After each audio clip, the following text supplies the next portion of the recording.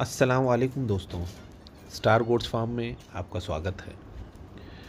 माशाल्लाह, बहुत ही यूनिक और काफ़ी खूबसूरत बकरा है आज जो हम आपके लिए लेके आए हैं।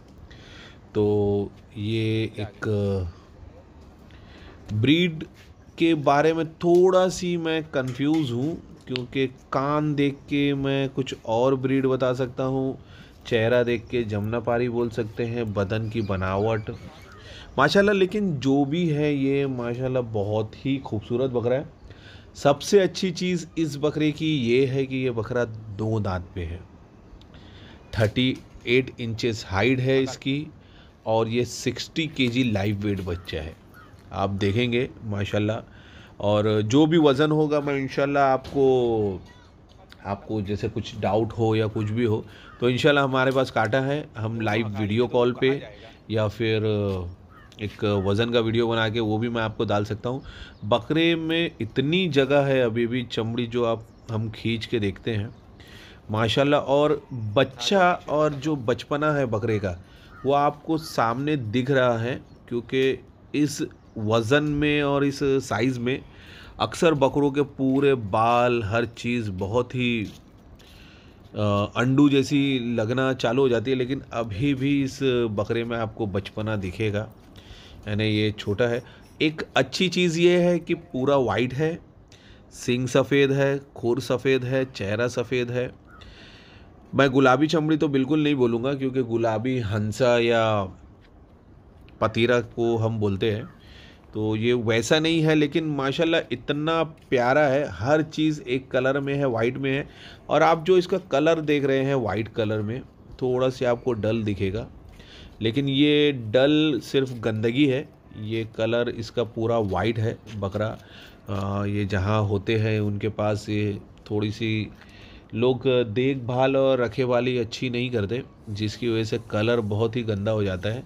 तो कलर चेक करने का सबसे अच्छा तरीका है बालों को हम अपने हाथों से हटा के देखें। तो इससे हमें अंदर की तरफ़ अब जैसे अब ये झुका है तो इसकी गर्दन के बाल आप देखेंगे पूरे अंदर से पूरे वाइट दिख रहे हैं। तो ये बकरा पूरा वाइट है। और जो कलर गंदा है इन ये जैसे जैसे आप पालें और ये बड़ा होते जाएगा। और एक बार अगर इसका बाल निकाल दें तो इन काफ़ी खूबसूरत हो गया। बकरे का, अब आप बनावट देख सकते हैं। माशाल्लाह बकरा इतना शानदार है। दो दांत पे है, सिक्सटी के जी लाइव वेट है लगभग, और माशाल्लाह बनावट आपके सामने है। पालने वाले लोग ऐसा बकरा दो दांत पे काफ़ी लोग ढूंढते हैं ये क्वालिटी में। तो उनके लिए बहुत अच्छा ऑप्शन है।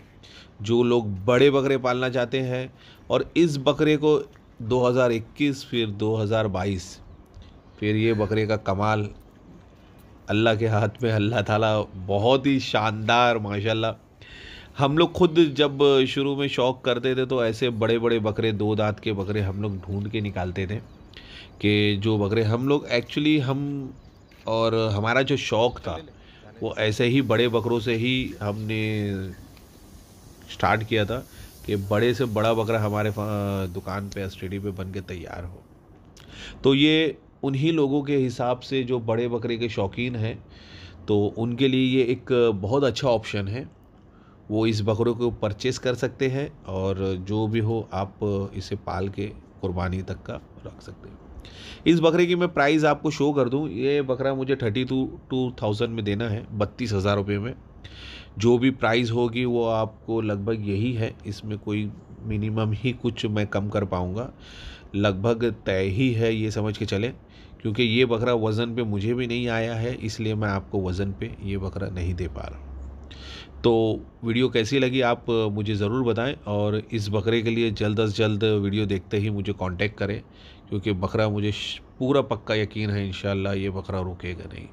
जैसे ही वीडियो अपलोड होगी, अल्लाह ने चाहा तो ये सोल्ड हो जाएगा।